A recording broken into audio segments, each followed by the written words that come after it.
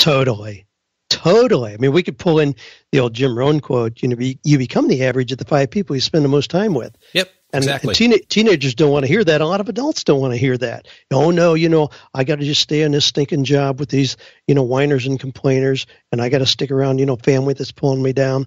Well, just recognize what that's doing to yourself. And this is not some kind of elitist thing to just separate yourself from people that you do love and care about, but you better be careful about investing a lot of time. I mean, I have relatives that I'll spend three hours a year with and be very generous, you know, and gracious during, but there's no way I'm going to spend three well, days. Give me we some, are going on vacation together. Uh, give me some names there, Dan. I'm curious. Which which relatives are we talking about?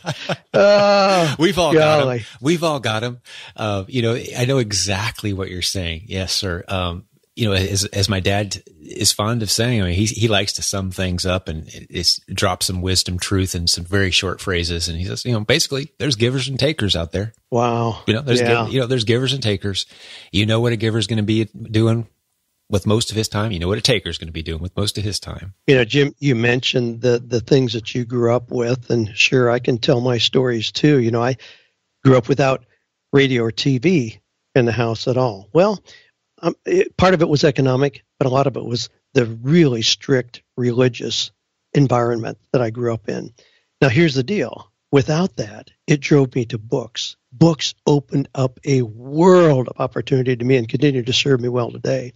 There's a couple German psychologists who coined the term desirable difficulties. And I love that because often the thing that we see as a disadvantage turns out to be our greatest asset. I mean, the, the CEO of JetBlue, the airline, is severely dyslexic. He says if there were a pill to take that away, he would not do it because that difficulty opened so many creative doors for him and led to the kind of success that he has now. Oh. And even when we look at the look at the story of David and Goliath, you know, the title of one of Malcolm Gladwell's books. Right. Well, we, we think David, my gosh, you know, he wasn't trained as a soldier. He didn't have all the equipment. He didn't have a helmet, a shield, a spear. He was just a short, scrawny little guy. And here he comes up this amazing giant who was well trained as a soldier. Surely David is disadvantaged. No, he was quick, nimble. He was he didn't know you were supposed to do hand to hand combat. He kept his distance and with his accuracy and experience with a sling took down a giant. But desirable difficulties.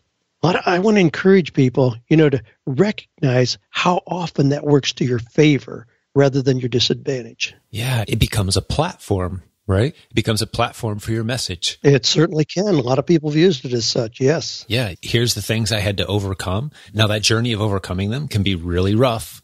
And I don't want to downplay that, but I'm right there with you, Dan, that I think, and that's one of the reasons that I just really love hanging out with and encouraging and spending time with entrepreneurs because you can't be self centered and serve well.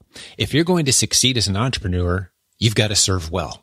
If you're self-centered and your life's all about you and poor old me and my life is terrible, I, you just don't meet many entrepreneurs who have who carry around that blank that wet blanket of just oh life is terrible and things will never be better. Entrepreneurs have to have an air of optimism, uh, an outlook that the future is going to be better than the present, that I can make some great things happen. So I love entrepreneurs because step one of having any success in business is some optimism about the future. Otherwise, why would you risk your capital and your energy and your time in, in trying to build something? Shouldn't you be building a bomb shelter and storing canned goods under your house? I mean, if you really oh think my. that the world's ending, like, you know, that's where you go, you know, feel sorry for yourself in your hole. But those of us who are looking forward, saying the future is awesome, there's great potential there. I love entrepreneurs, and I know you do too. Does that bring any thoughts to mind? Oh, absolutely. In 48 Days to the Work You Love, I have what